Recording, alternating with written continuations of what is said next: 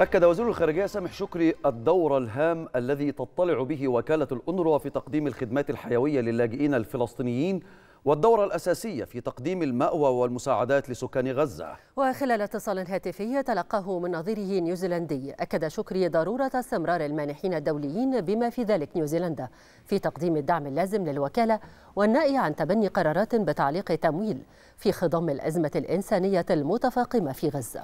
وذكرت وزارة الخارجية في بيان أن الاتصال جاء في إطار حرص الوزيرين على التباحث بشأن سبل تعزيز مختلف آليات التعاون الثنائي بين البلدين. وأكد الوزيران أهمية الفرص المتاحة للدفع بمسار العلاقات الثنائية على الصعيدين السياسي والاقتصادي لأفاق أوسع.